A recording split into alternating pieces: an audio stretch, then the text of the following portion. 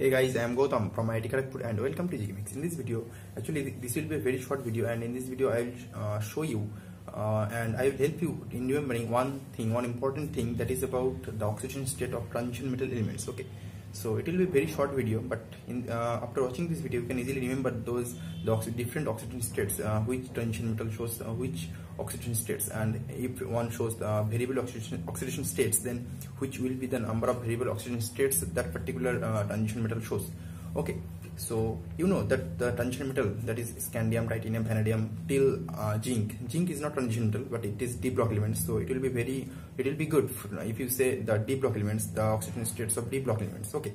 So here uh, just also uh, you know that the scandium 3 plus it's not also the transition metal element. So remember these two as a uh, general knowledge and also uh, the transition metal elements or you may say d block elements. Those are important for your uh, jam net gate and also for other NSE entrance examination and also for your general study. Okay.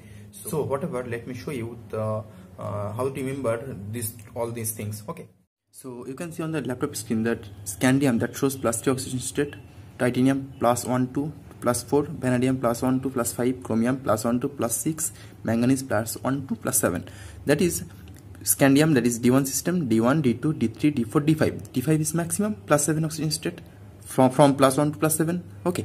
And then uh, from iron it will get uh, it will get decreased. Okay. So iron plus 6, cobalt plus 5, nickel plus 4, copper plus T and zinc plus 2. So I let's me let me show this on the whiteboard. Okay.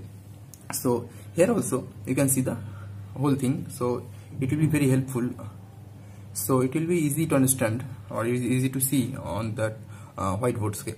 So here also you can see the same thing. So so here here to here and this is like this. Okay. And d1 d2 d3 d4 d5 d5 is the middle. Okay middle one.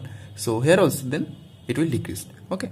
So like this and like this. So just this is a shortcut method. So i just uh, want to share with you this one. So i know i don't know whether if you uh, knew this one or not but definitely it will help in different kind of examinations and also in your general study. Okay.